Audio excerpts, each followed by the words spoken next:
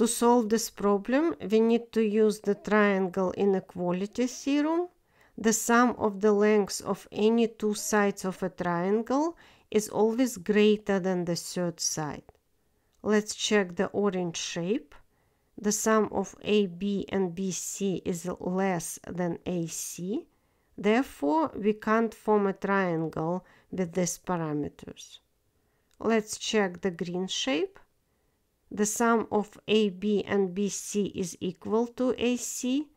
Therefore, we can't form a triangle with these parameters either.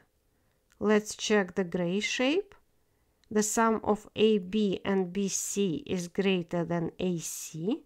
The sum of AC and BC is greater than AB.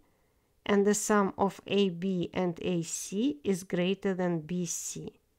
Therefore, we can form a triangle using these parameters. The gray shape is a triangle. Let's prove the theorem. Let's prolong AC and mark point D on the prolonged segment. So BC is equal to CD. Triangle BCD is an isosceles triangle. Therefore, angles CBD and CDB are congruent.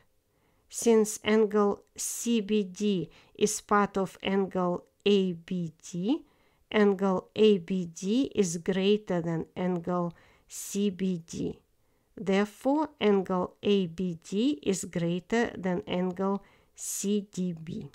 AD is greater than AB because the larger angle has a larger opposite side and since AD is equal to the sum of AC and CD and CD is equal to BC, AC plus BC is greater than AB, which proves our original statement.